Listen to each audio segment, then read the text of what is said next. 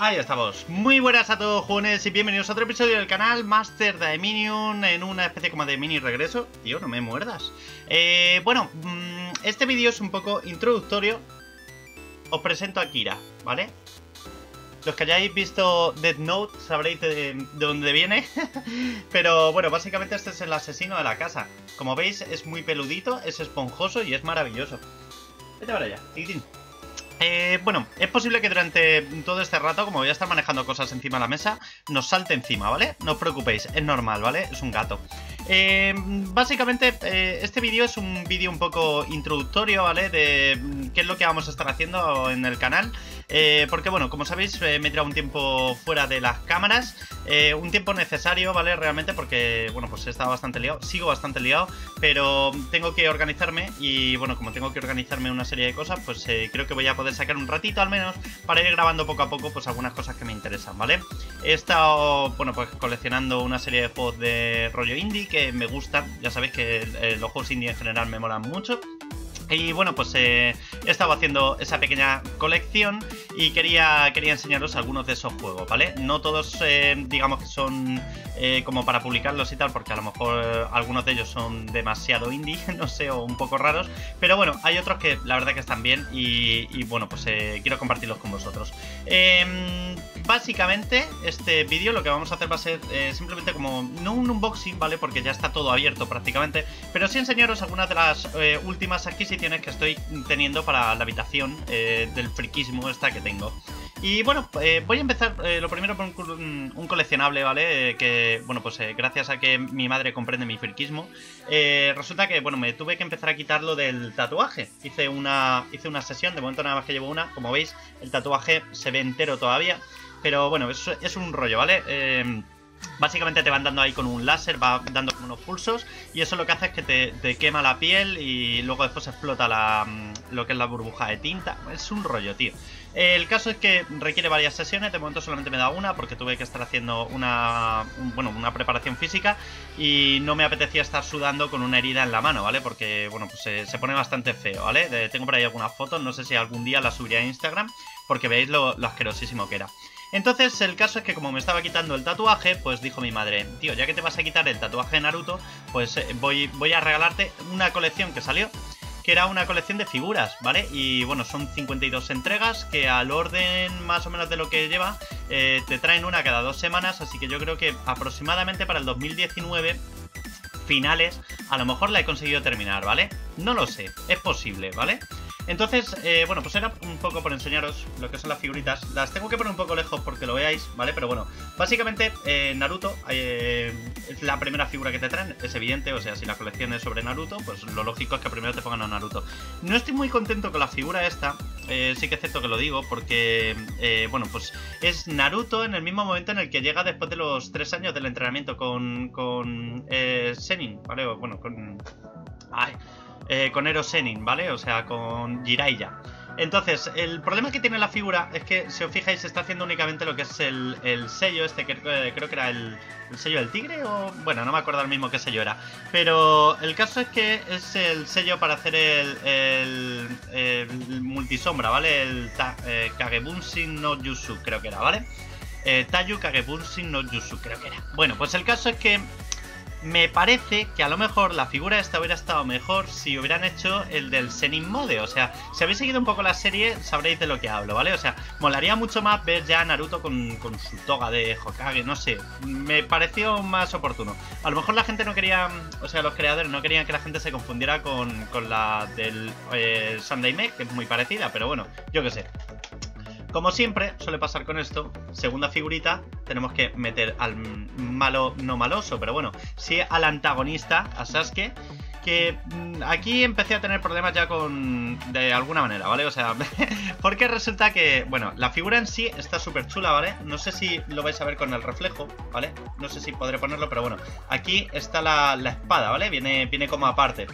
Y... Mm, no me acuerdo, eh, Kusanagi era la, la espada.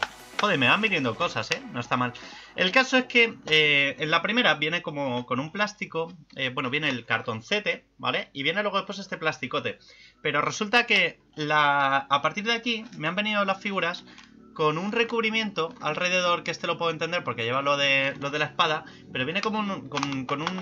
Mirad cómo suena. ¿Vale? O sea, es mierda la caja esta, o sea, básicamente. Y entonces, ¿qué es lo que pasa? El repartidor, pues yo lo compro a través de una papelería, ¿vale? La, la papelería esa se lo manda Planeta Agostini y ya luego después eh, yo lo recojo. Bueno, pues resulta que la, figurita, o sea, el, colega que lo reparte, se ve que antes repartía fardos de, de coca o algo, yo que sé, y los tira así como si no hubiera un mañana, ¿vale? O sea, no sé. Entonces viene toda la figura apretujada con, un, con una, una cinta, ¿vale? Una cincha de estas y entonces resulta que llegó como, como aplastadísimo el plástico. Le, tuve que decir, tío, es que esto es para una colección, o sea, no me lo puedo llevar así. Y afortunadamente ya he conseguido que medio me las guarden bien, ¿sabes? Pero, pero fue un desastre. Fijaos ya, de hecho la siguiente de Kakashi ya, ya tiene mejor pinta, ¿vale? Bueno, en realidad la siguiente no, creo que no fue Kakashi, sí, Kakashi fue la tercera, la cuarta fue eh, la, la, figura de, de Sakura, que la tengo por aquí, ¿vale? Como muy normalita, ¿vale? Pero fijaos que, ya sale con lo del tema este de, lo de los guantes y tal. Que también me hubiera gustado que le hubieran puesto algún, mm, no sé, alguna significación con lo del tema este, no sé, que, que hubiera salido con lo del sello este de lo de la vida. Algo, ¿vale? O sea, hubiera estado bien algún detallito de esos. Esta me gusta mucho, Itachi, ¿vale? Está, está muy chula, sobre todo el efecto de lo de la capa. Están todas pintadas a mano, ¿vale? O sea, es... Eh, no las he llegado a sacar, no sé exactamente el material, pero vamos. Tiene que ser PVC y, bueno, pues tiene ese toquecillo mm, de pintura a mano que está... Queda muy bien, la verdad. Me gustan bastante. Igual, me hubiera gustado pues que saliera haciendo el otro sello. Este creo que era el del tigre, ¿no? No sé, no me acuerdo, tío. Hace ya tiempo que no toco esas cosas. Pero bueno, y esta semana ha llegado la de Gara, que también me ha gustado bastante, ¿vale? Aquí la tenéis, la figurita de Gara. Que este sí, porque parece que está haciendo lo del el, Subaku, lo del ataúd del desierto, ¿vale? Que justo se le ve ahí como con lo de la manita. Y mola en ese sentido porque te da un poco el carácter del personaje. Pero... Pero eso, o sea, mm, eh, creo que en general las figuras están bien, pero hay algunas en las que no, han captado todavía todo el, todo el rollo, ¿vale? Tienen que venir también los QB y todo eso, o sea que si, si hay frikis del canal de Naruto, pues eh, os iré subiendo poco a poco pues en las figuras o a lo mejor un día hago un repaso de qué es lo que llevo, etcétera. Em, por otro lado, me pillé el Steam Link, ¿vale? Este aparatito aquí. Para los que no sepáis de qué va esto, el Steam Link, por cierto, viene en una caja súper chula. Me, me moló un montón es esta caja, ¿vale? Pero que es... Em, es como, como una caja así de... que es cartón, pero como cartón del bueno, ¿sabes? O sea, como cuando te compras un iPhone que dices... Aquí van 1200 pavos, pues igual, ¿sabes? Pero en realidad me salió baratísimo. Porque eh, salió una oferta que si te pillabas... ¡Uh! Dios, qué susto, se ha caído una botella. Vale. Ah, Vale, ha vuelto el corazón, sigue latiendo. Bueno, el caso es que mmm, pensaba que se me había caído algo de lo que tenía encima de la mesa y hay pasta, ¿vale? o sea, no me interesaba. El caso es que mm, eh, el, Steam Link este básicamente salió una oferta que venía con un juego, no me acuerdo ahora mismo cómo se llamaba, lo estuve probando, no me convenció tampoco demasiado, a lo mejor lo subo al canal, pero no me, no me llenó demasiado el ojo. Tiene ahí algún detallito, pero bueno en esencial tampoco mola demasiado. Pero bueno, el Steam Link supuestamente son 50 pavetes y me salió en total por 20 pocos con el juego, ¿vale? O sea, comprabas el juego y el Steam Link te salía por 8 euros o algo así. O sea, súper barato. Y este aparatito, básicamente para lo que sirve, lo conectas, eh, yo lo tengo conectado en el comedor, ¿vale? Esto está conectado a través de la wifi, ¿vale? Y eh, recibe al, al, aparato, recibe tu cuenta de Steam, con lo que puedes jugar en el comedor, en mi caso, por ejemplo, a los juegos de Steam en la televisión, ¿vale? Eh, utilidad, bueno, pues para alguien que en un momento dado el ordenador no lo esté... Mm, o sea, no esté en un sitio cómodo o prefiera jugar en su sofá, etcétera, etcétera, que no tenga una habitación o un sitio destinado para juegos, sino que, le guste jugar de vez en cuando en el comedor de una forma cómoda, pues está bien.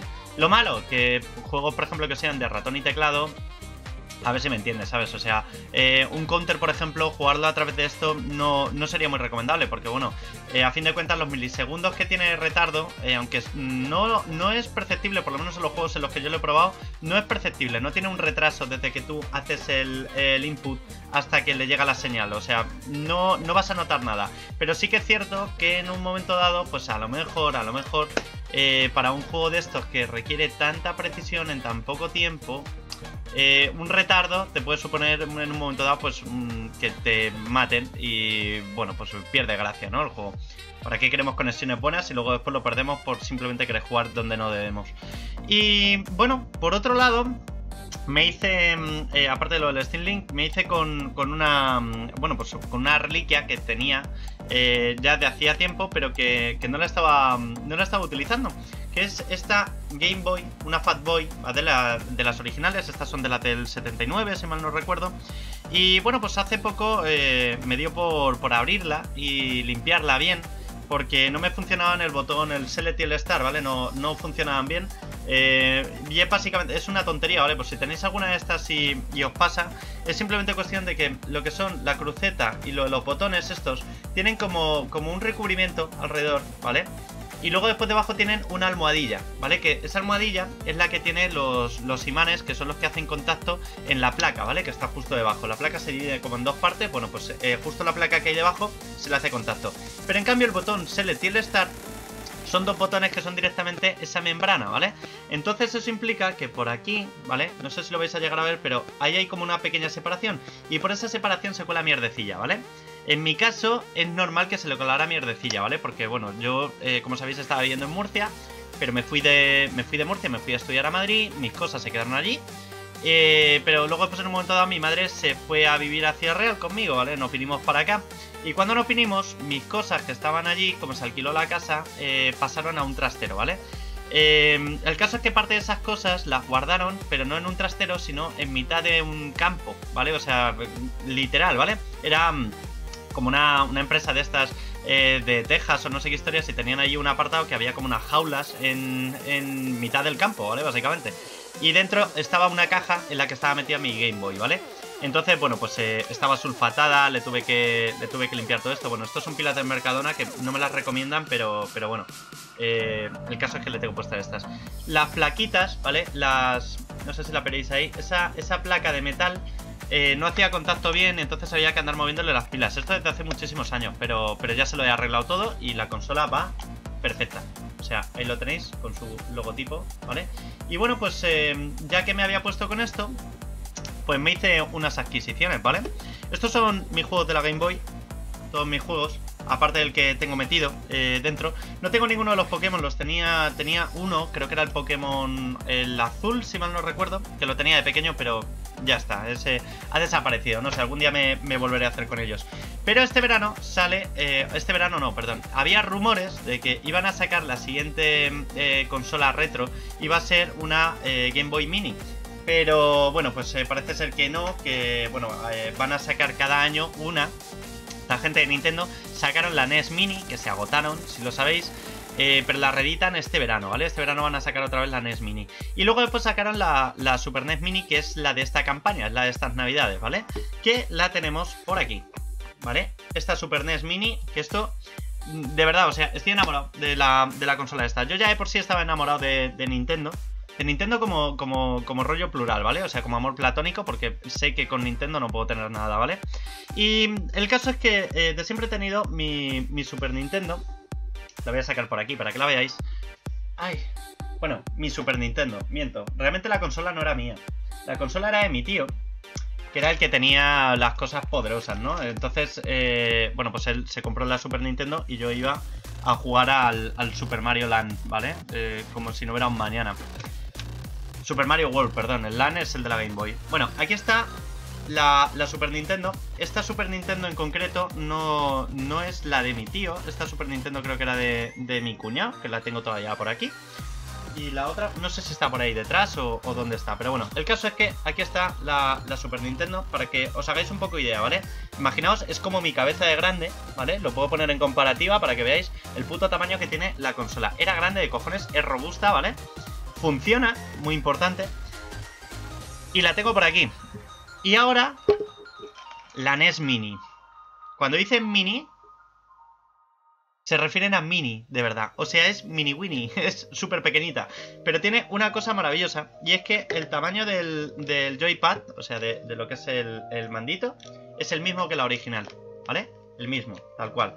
O sea que esto es maravilloso. Va por cable, es la única putada, pero bueno, puedes pillarle... Mm, hay un conector USB para poder conectarle mandos, eh, o sea, porque bueno, tienen este conector que es como el de la Wii, ¿vale? Es el mismo tipo de conector, no sé si lo vais a ver ahí, pero bueno, más o menos se ve, ¿no? Vale, es este conector.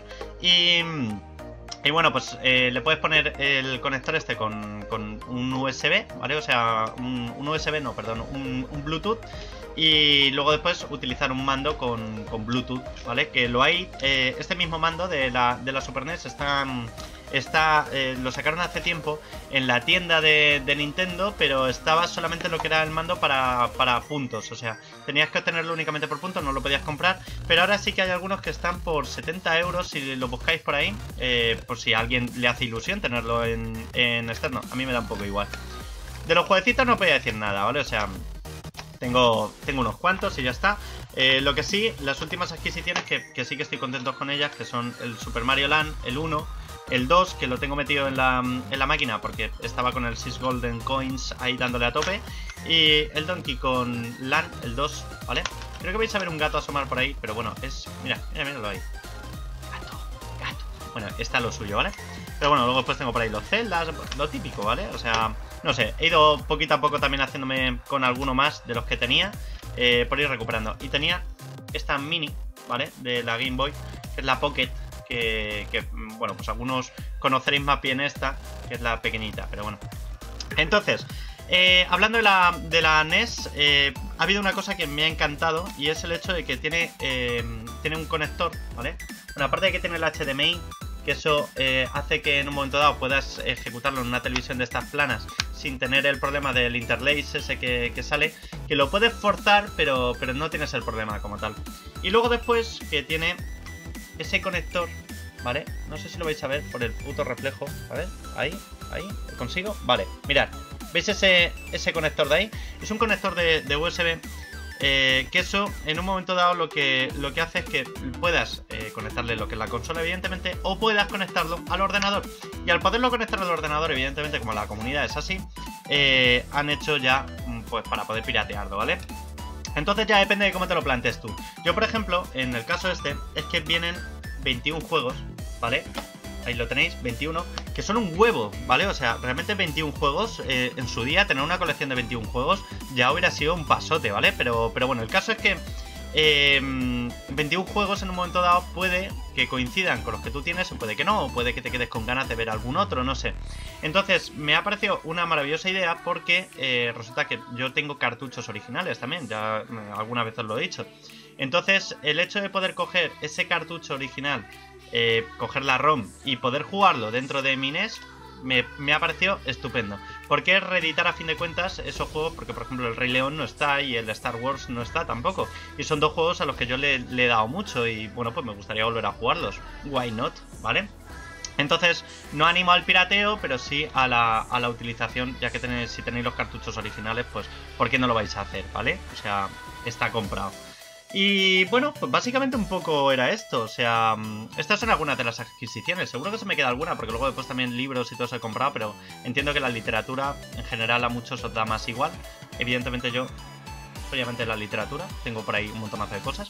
Y bueno, pues esto era un poco un vídeo de mini regreso, de saludo, etcétera, etcétera. Y, y bueno, pues que esta tarde tendréis ya vídeo, porque eh, se publicará el primero de la serie de Kingdom que espero que os guste. A mí me ha encantado el juego, la verdad. O sea, me encantó cuando lo jugué y me ha seguido gustando, evidentemente, ahora al rejugarlo. Es muy cortito, no, no tiene mucha historia, pero, pero oye, que son de esos juegos que en un momento dado, pues eh, para echarle un rato, están bien. Así que nada, os dejo por aquí y nos vemos en el próximo vídeo. Chao, chao.